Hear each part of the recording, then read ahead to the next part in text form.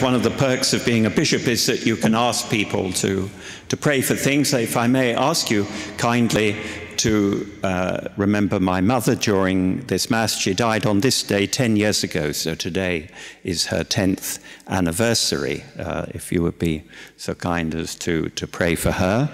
And so um, we, we may pray that. Uh, uh, she may rest in peace, and the souls of all the faithful departed rest in peace. And we will be remembering the faithful departed, especially tomorrow.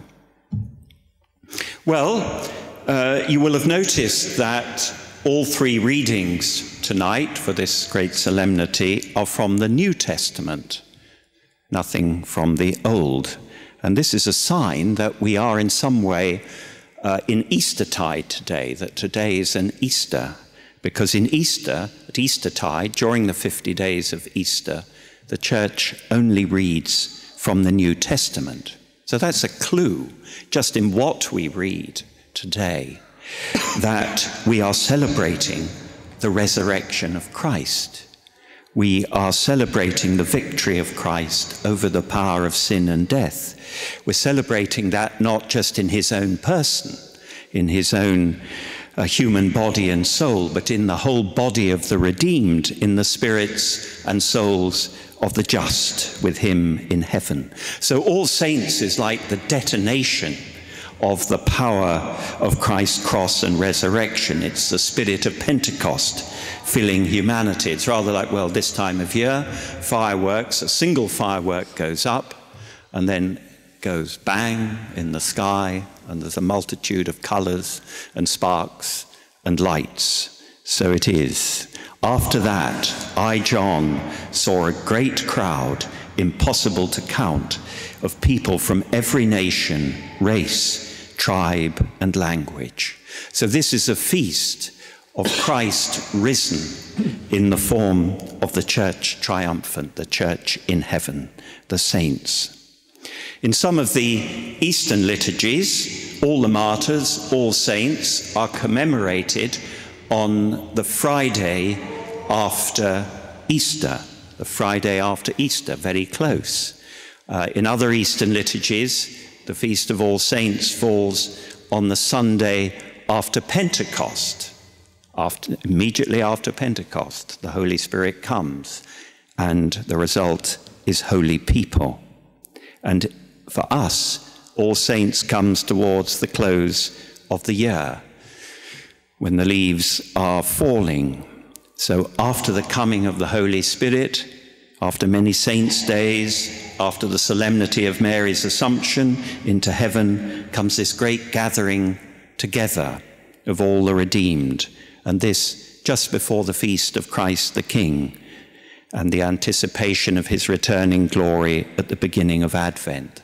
So, just where these feasts are kept is like a great lesson, great teaching, just in that. There's great artistry in the liturgical year. It's a very beautiful piece of architecture, you might say. Well, one spring day, we imagine it as a spring day in Galilee, Jesus, the Son of God, saw a great crowd fishermen and farmers, women and children. And he went up a hill and sat there with the good earth as his throne. And he gave them the Beatitudes. He gave us the Beatitudes. This was the gospel we've just heard. He's given the whole of human history, all who have ears to hear, these eight Beatitudes, the way to heaven. He sowed them, if you like, these extraordinary sayings. Blessed are the poor in spirit, and so forth. He sowed these in the soil of history. And now he is seated in the glory of the Father, and he sees this other, greater, expanded crowd, the crowd impossible to count. He sees the harvest. He sees the poor in spirit, the gentle, those who mourned, who hungered and thirsted for the right. He sees the merciful, the pure in heart, the peacemakers, the persecuted. He sees all in whom his words have come true, have, have become flesh, you might say, have formed lives and hearts. And he, still the mediator, takes up their praise and their joy and offers it to his Father. Amen. Praise and glory and wisdom and thanksgiving and honor and power and strength to our God forever and ever. Amen. It's extraordinary to think that behind the veil, as it were, all this is happening now. Well, tonight then, light falls on us. It falls on us from the hill of the Beatitudes by the Lake of Galilee. It falls on us from the heavenly Jerusalem. And what does it show? What does it say? What is it, the light that shines tonight? Surely it answers our age old question why is there anything at all? Why neutrons and protons and electrons? Why this material world? Why animals? Why us humans? Why is life the way it is? Why so many contradictions? The answer is so there may be saints, so we may be saints. Holiness is the goal of it all. Holiness is why, out of the world's complexity, a being was born, the human being, capable of understanding and judging and choosing, capable of doing good, of making a gift of himself, created in the image and likeness of God. We're not created in the image of God's omnipotence or, or his omniscience, but in the image of his wisdom and goodness and freedom, in the image of his merciful love. So we are called to be saints, to reflect him, the Holy One. I think often we have a very poor notion of holiness uh, something tinselly or unreal. But to love the Lord our God with all our heart and soul and strength, to love our neighbor in some way as Christ loved them, that's not unreal. St. Peter and St. Paul weren't unreal. St. John Paul and Teresa of Calcutta weren't unreal. To be poor in spirit, gentle, merciful, peacemakers, and the rest. This isn't unreal. We've met people who do this. We know people who do this. Nor is it as far away from us as we sometimes like to think. And everything, everything that happens, good, bad, or indifferent, can be grist to this mill, can bring us closer to God.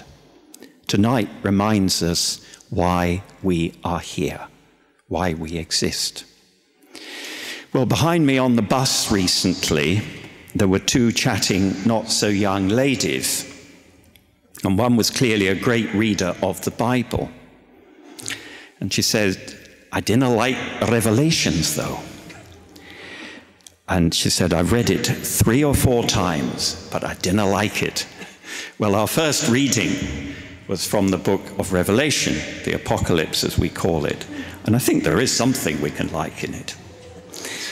What, sorry, wait, cries a voice to the devastating angels. We heard that.